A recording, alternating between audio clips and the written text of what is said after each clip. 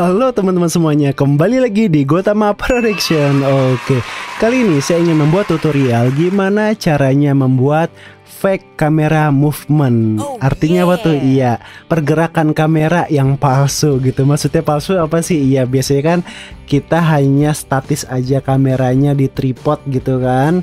Nah, itu gimana untuk kita membuat pergerakan itu? Kita bisa mengakalinya gitu teman-teman pada aplikasi CapCut versi PC. Oh, Oke, sebelum ke tutorialnya, buat teman-teman yang belum subscribe, subscribe dulu ya Gotama Production dan aktifkan loncengnya supaya teman-teman mendapatkan notifikasi apabila saya mengupload video-video terbaru saya. Oh, Oke, kita langsung ke tutorialnya. Kita buka aplikasi CapCut-nya. Oke, kita klik New Project. Oke, sekarang saya mau import contoh video ya, teman-teman. Oke, nah di sini saya ada contoh video teman saya cover, cover lagu. Ini kameranya dia statis ya. Saya drag dulu ke timeline. Oke. Oke, saya potong dulu. Oke. Ini saya mutekan dulu ya teman-teman ya karena khawatir kena copyright musiknya. Oke. Nah, ini saya play ya. Nah, ini statis teman-teman.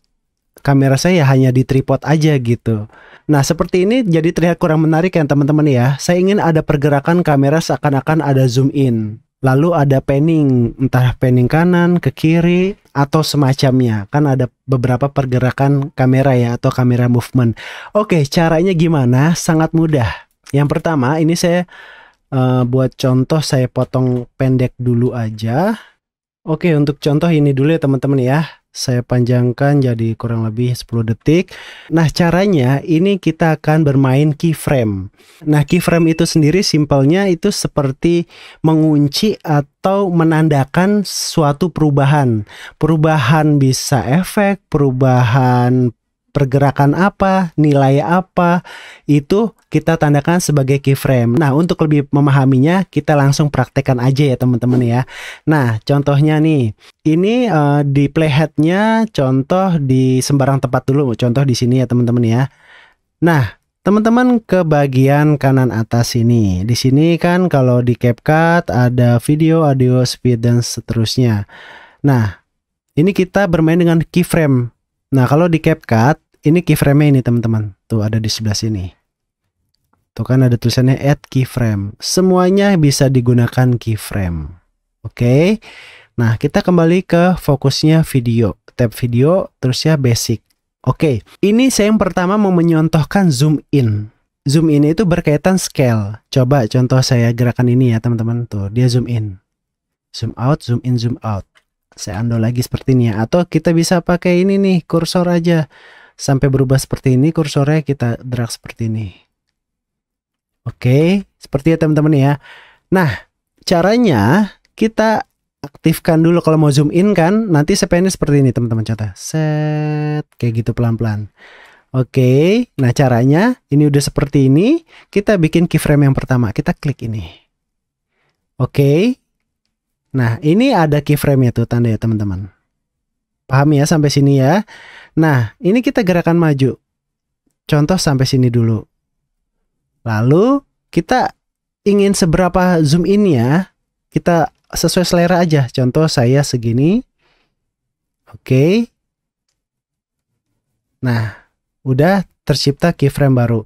Nah, kalau kita play dari sini ke sini dia sudah berubah tuh teman-teman. Tapi kalau ke sini tidak berubah karena di sini tidak ada keyframe. Ini pun juga sebelumnya tidak ada. Nah, jadi caranya gimana? Saya taruh awal klip. Ini dari ak sampai akhir klip. Nah, kalau kita play dari awal, saya coba play. Nah, dia zoom in pelan-pelan. Nah, smooth, mantap ya. Nice. Nah, seperti itu ya teman-teman ya. Oh, Nah, contoh selanjutnya. Misalnya saya ini saya copy lagi deh ke sini. Tekan Alt sambil drag ke sini dia copy, tapi ini saya tidak mau pakai keyframe ini. Saya delete keyframe.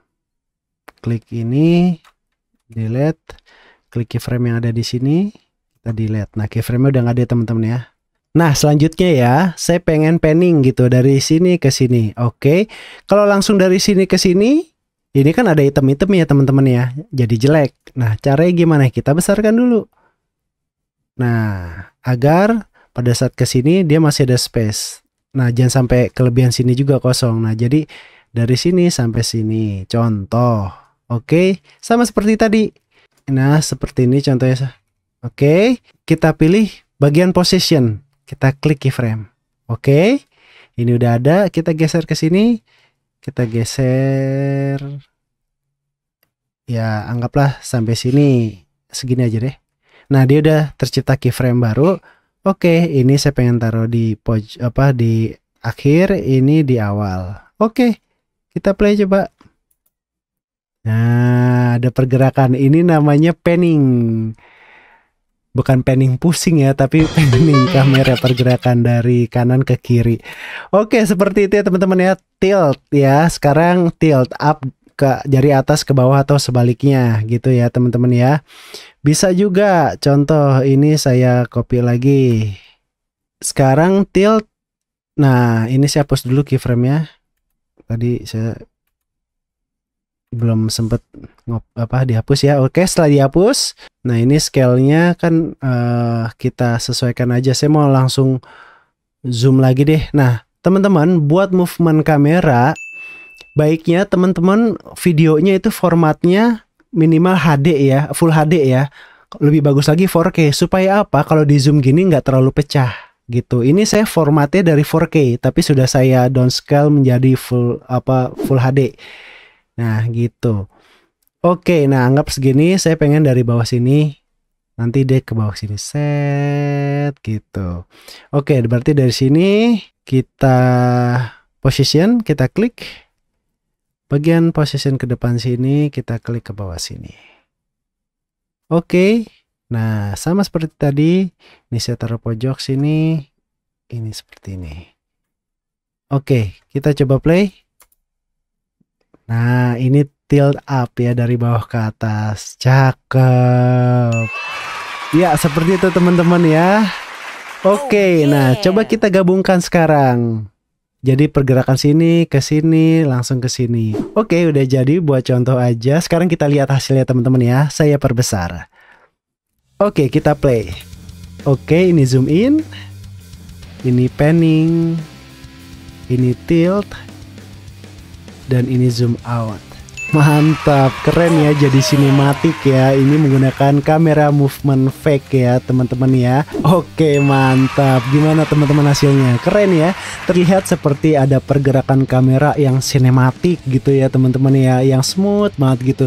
Padahal mah kameranya itu hanya standby aja di atas tripod, tapi kita bisa gunakan fitur itu untuk membuat fake kamera movement. Oh, Silakan teman-teman berkarya atau berkreasi mungkin yang lebih ekstrim lagi atau lebih keren lagi dibanding saya silahkan. Saya ikut senang ya teman-teman ya. Oh, Kalau ada yang ingin ditanyakan silakan tanyakan saja di kolom komentar di bawah ini. Nanti saya akan mencoba menjawabnya sebisa saya.